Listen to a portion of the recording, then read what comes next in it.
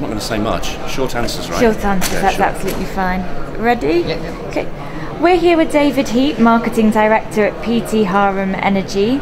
David, what do you think Coaltrans conferences contribute to the sector? They give people the opportunity to get together.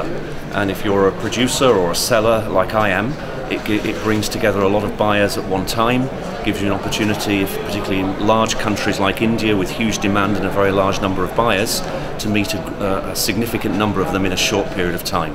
So it's very cost effective, and uh, that, that's, the main, that's the main benefit for me.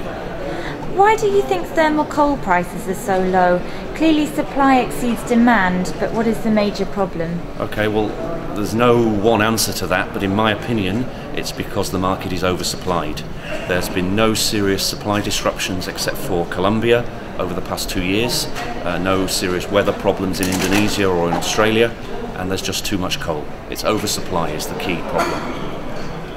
That's great. Cheers, David.